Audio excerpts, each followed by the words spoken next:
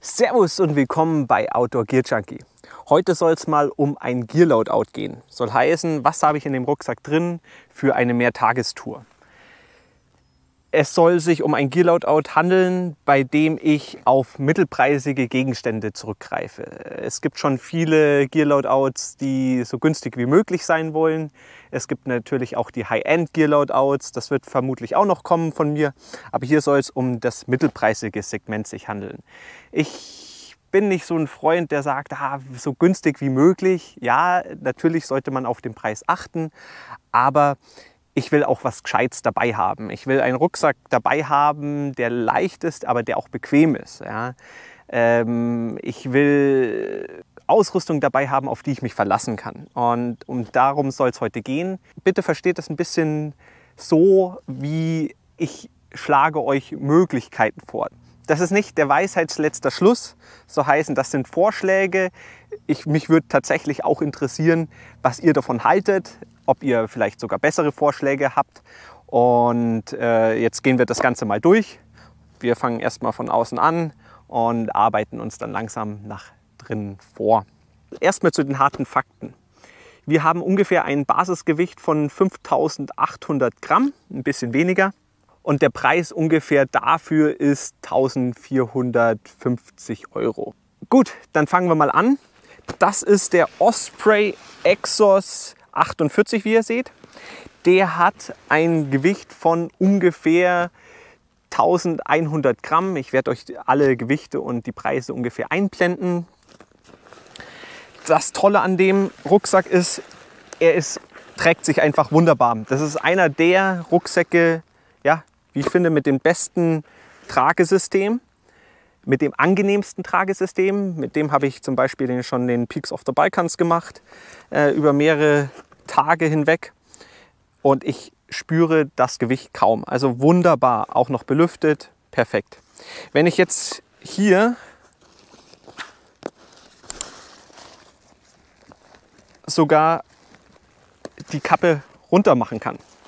soll heißen, der wird noch leichter. Hier ist sogar noch eine Flappe, dass man den noch leichter machen kann. Das ist sehr super. soll heißen, das braucht man nicht. Wenn man sich gut hier drin organisiert, alles in Ordnung. Gut, was haben wir denn dann weiter? Hier, der Katadyn-Filter von Katadyn, der Bifree 0,6 Liter. Finde ich sehr gut. Preis-Leistungs-Verhältnis auch sehr gut in Ordnung. Dann zwei Flaschen wiegen insgesamt 44 Gramm, ziemlich vernachlässigbar. Man braucht eigentlich nicht mehr.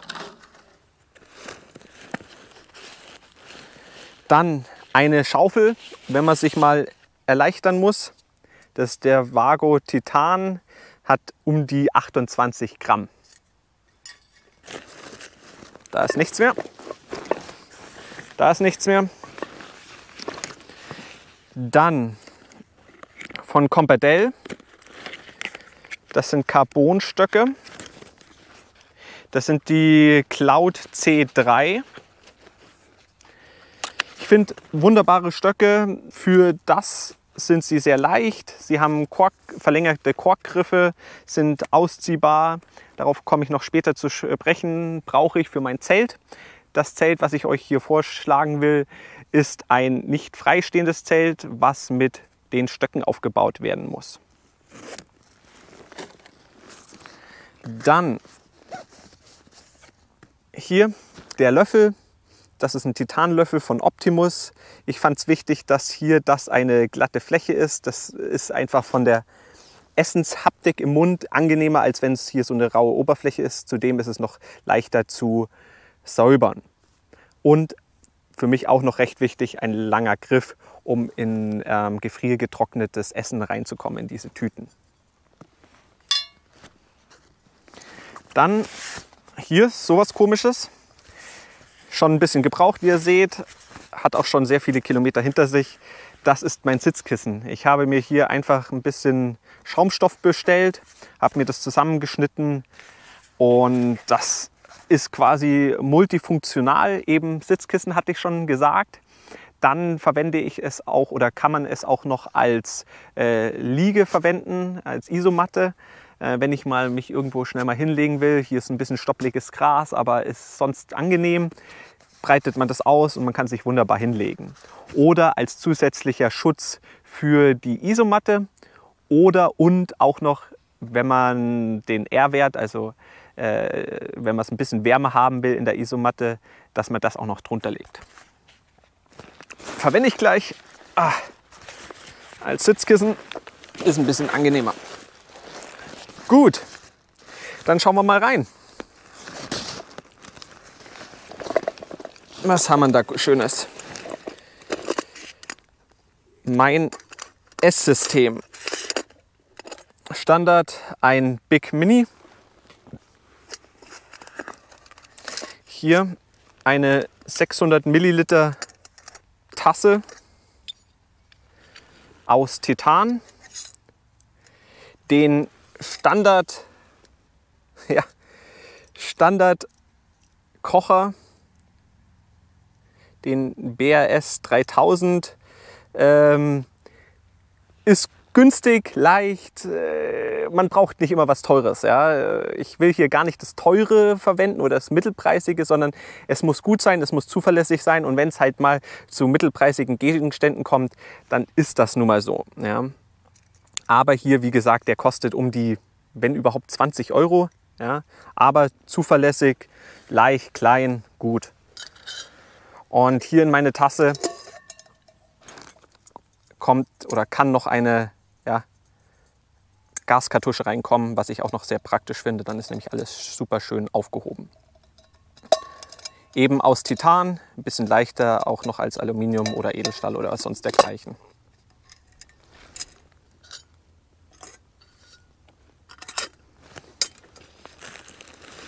Dann von Mountain Equipment die Aerostat Syn 7 in der Größe Regular. Finde ich einfach eine gute Matte hat einen R-Wert von 4, also kann man die auch noch in sehr milde Winter verwenden. Ähm, hat, wie der Name schon sagt, eine Dicke von 7 cm, ist mega bequem, kostet um die, wenn man den Preis abpasst, um die 135 Euro. Kann sogar hin und wieder ein bisschen günstiger sein, aber auch teurer. Ähm, eine super Matratze. Mega bequem, gut isoliert, super. Ja. Und natürlich, es geht leichter und günstiger und so weiter. Die leichten Isomatten, da habe ich ein extra Video gemacht. Das seht ihr hier. Da könnt ihr euch mal durchklicken, was es noch für Isomatten gibt, was ich euch schon vorgestellt habe. Die Nemo Tensor zum Beispiel oder die X-Lite, die werde ich sogar noch vorstellen. Aber da könnt ihr euch, wie gesagt, mal anschauen, was es noch so auf dem Markt gibt. Gut, dann hier ein Packsack. Ein Packsack muss man nicht verwenden, kann man verwenden. Äh, für mich hat das einen multifunktionalen Gedanken wieder. Ich kann es eben, wie gesagt, als Packsack verwenden, ähm, aber ich kann es auch als ähm, ja, Kissen verwenden. Diese aufblasbaren Kissen finde ich nicht ganz so angenehm. Ähm, ich, was ich immer ganz gerne mache, ist hier meine ganzen Kleidungsstücke reinstecken, so wie Jacke und so weiter. Und das dann eben verschließen und das dann eben als Kissen zu verwenden. Dann mein Poncho von Tatatonka ist ein Super K, ein bisschen schwerer tatsächlich. Da gibt es auf jeden Fall noch leichtere Varianten. Das Tolle an dem, der geht auf jeden Fall noch gut über den Rucksack drüber. Ähm, zum Beispiel gibt es einen von Sea2 Summit, den Nano Seal Cape. Ähm, das wäre auf jeden Fall eine leichtere Variante und ähm, damit macht man auch nichts falsch, ist aber natürlich auch wieder teurer natürlich.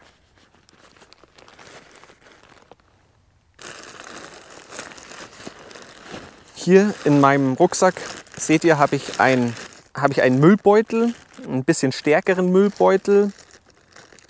Ähm, kann man in solcher Rollen kaufen. Da sind 20 Stück drin. Abfallsäcke sind schwerer und sie lassen eben kein Wasser rein, was natürlich eine super Sache ist. Äh, ich bin nicht so ein Fan von so Überziehern für Rucksäcke, weil die ganzen Nähte sind noch offen und da kann Wasser eindringen. Vorne ein großes Loch, wo auch noch Wasser eindringen kann. Von dem her, ich bin ein Fan von solchen Packsäcken. Kosten nichts, sind leicht, sind super. Dann meine tolle Unterhose von Orthovox. Ich bin ein Fan von Merino. Ich schwitze sehr viel ähm, und wenn man längere Zeit ohne Duschen und so weiter unterwegs ist, äh, hält das so ein bisschen den Geruch in Zaum. Hier gibt es natürlich auch noch günstigere Alternativen. Decathlon ist hier natürlich immer eine gute Anlaufstelle. Dann geht es weiter. Eine Stirnlampe. Hier allseits beliebt die Nightcore NU25. Hier gibt es auch schon ein Nachfolgemodell. Das Nachfolgemodell ist ein bisschen leichter, weil hier nicht so ein dickes Band dran ist, aber hat auch noch den Vorteil, das hat einen USB-C-Anschluss. Also das neue Modell, das alte Modell leider noch das ein Micro-USB-C-Anschluss. 35 Gramm, äh, 53 Gramm kann man auf jeden Fall gut machen. Dann geht's weiter. Wie vorhin schon erwähnt, ich bin ein Fan von Merino und deswegen hier auch Merino-Socken von Smartwool. Eine Mütze, tatsächlich von Decathlon, äh, um die 40 Gramm. Ähm, ja, hat mir treue Dienste bisher geleistet, eine super Sache.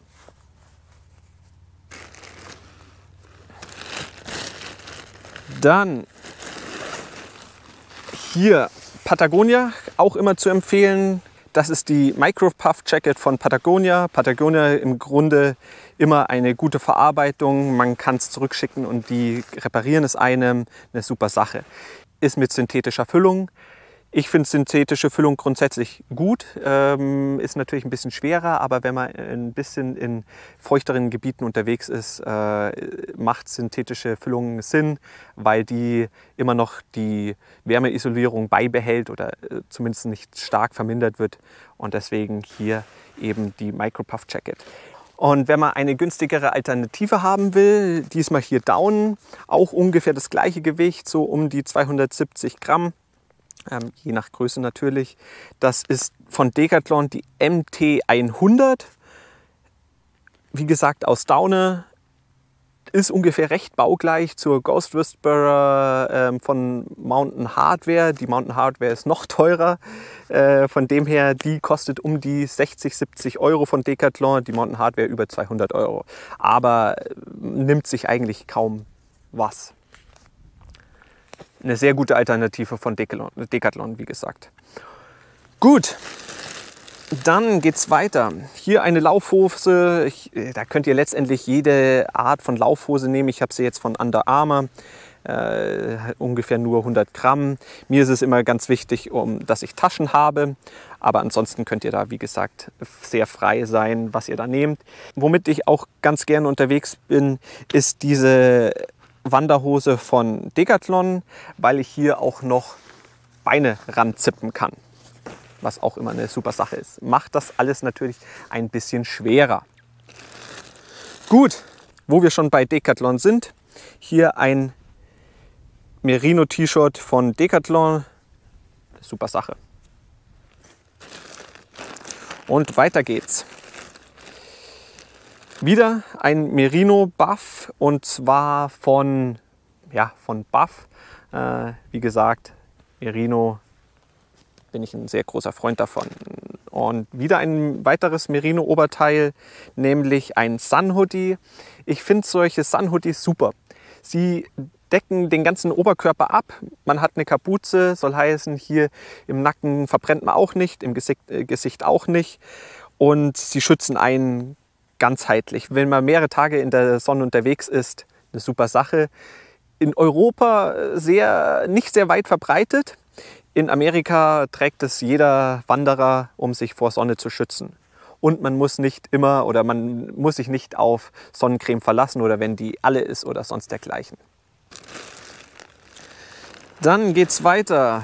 Ein Patagonia Fleece R1 Gehört nicht zu den leichtesten. Ich mag sehr gerne.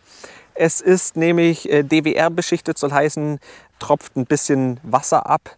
Wenn man in so Nieselregen ist, mag ich nicht sofort irgendwie Poncho oder sonst dergleichen überziehen. Äh, da schwitze ich immer zu sehr drunter. Da ziehe ich einfach das an und hält mich eben auch trocken und eben auch warm. Äh, es gibt auch von Patagonia das R1 Air Fleece. Ja, das ist noch ein bisschen leichter, vielleicht auch einen Ticken wärmer, aber ja. Dann geht es weiter in meinen Hygienesackerl. Solche Ziploc-Bags wiegen nichts, sind praktisch und kosten auch nichts. Von dem her verwende ich das immer ganz gerne. Hier Mullbinde, wenn man sich mal verletzt hat. Mein Handtuch von Lightload. Ähm, da gibt es auch eine Alternative von C2 Summit. Das habe ich hier irgendwo auch noch. Genau hier. C2 Summit Airlight Towel. In der Größe L habe ich es hier. Eine super Sache. Dann Klopapier.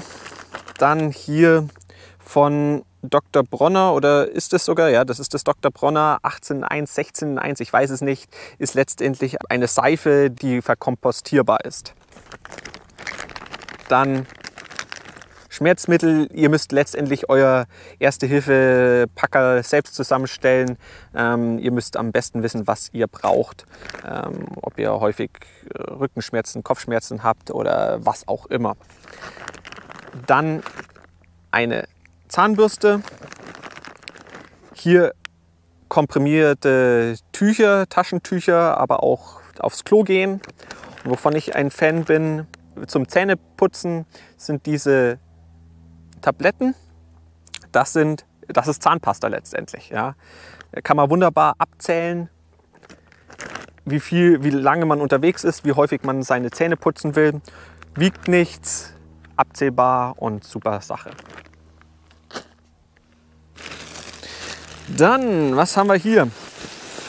Mein Schlafsack, Schrägstrich mein Quilt von der Firma Lightway. Die machen grundsätzlich sehr leichte Gegenstände. Äh, der kostet um die, ich glaube, ein bisschen weniger als 200 Euro. Das ist der Lightway Sleeper 170 Apex. Warum 170 Apex? Hier ist eine Füllung von 170 äh, Gramm Apex drin.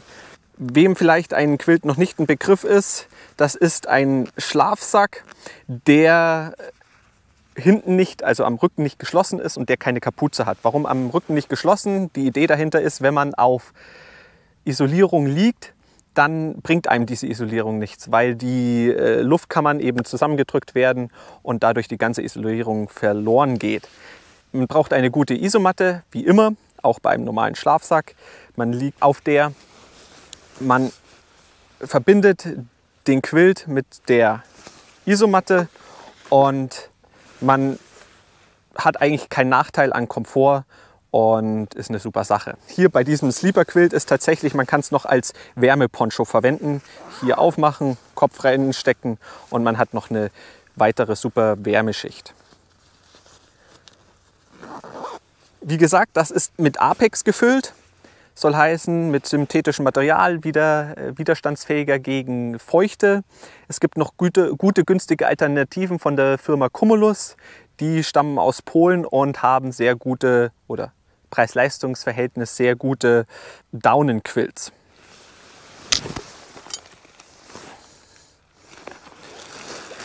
Hier ist es leer. Dann das Zelt. Das ist das berühmte Lanshan 1 von 3FUL Gear. Das hat im Internet schon eine gewisse Bekanntheit. Es ist vom Preis-Leistungs-Verhältnis einfach eine super Sache. Andere Zelte kosten gleich um das x-fache mehr. Das ist schon von vielen ausgetestet, von mir ausgetestet. Jeder wird bezeugen, dass das eigentlich ein super Zelt ist. Preislich liegt es um die 135 Euro oder ich habe es zumindest äh, für 135 Euro bekommen. Es ist ein Ein-Personen-Zelt, wird wie gesagt mit Trackingstöcken aufgebaut. Dieses Zelt gibt es auch in einer Zwei-Personen-Variante. Dann wird es mit zwei Trackingstöcken aufgebaut. Das Zelt wiegt um die 900 Gramm. Also leichter geht es kaum. Vor allem, weil das ein zweiwandiges Zelt ist. Es gibt noch eine Pro-Variante, die ist geringfügig leichter, hat, ist aber nur ein einwandiges Zelt und tendenziell gar nicht so viel besser, weil äh, ja, die Nähte zum Beispiel noch nicht mal versiegelt sind. Müsste man selbst noch machen. Ähm, ich bin ein Fan, wie gesagt, von dieser Variante. Allerdings gibt es natürlich auch Leute, die es nicht mögen, ihr Zelt mit Trekkingstöcken aufzubauen. Dafür gibt es noch andere Alternativen. Von Nature Hike zum Beispiel das Spider für eine Person zum Beispiel, ein super Zelt. Ich persönlich habe hier dann noch das Nature Hike Monga 2, wie der Name schon sagt, für zwei Personen. Ähm, das ist natürlich schon wesentlich schwerer. Das, da sind wir bei, gute, bei guten zwei Kilo. Kann man natürlich auf zwei Personen auch dann gut aufteilen. Das vorhin erwähnte Nature Hike Spider ist bei um die 1300 Gramm. Wie gesagt, blende ich euch alles ein. Gut, ich hoffe, es hat euch gefallen. Es waren ein paar informative Sachen dabei. Ich konnte ein paar Anregungen geben. Wenn ja, dann würde ich mich über einen Daumen hoch freuen. Umso besser, wenn ihr dann gleich noch abonniert. Das hilft mir als kleinen Kanal umso mehr. Mich würde, wie gesagt, interessieren, was haltet ihr von der Ausrüstung? Habt ihr Verbesserungsvorschläge? Habt ihr andere Ideen? Wo stimmt ihr vielleicht gar nicht so mit mir überein? Kann ja auch gut und gerne sein. Schreibt mir das, wie gesagt, alles in die Kommentare. Ich bin ja ein Outdoor-Gear-Junkie. Mich interessiert alles, was mit Autoausrüstung zu tun hat. Äh, da interessiert es mich wirklich eure Meinung. Ansonsten hier links, rechts seht ihr noch weitere Videos von mir. Da könnt ihr euch auch noch durchklicken. Ansonsten wünsche ich euch einen wunderschönen Tag. Servus, bis das nächste Mal.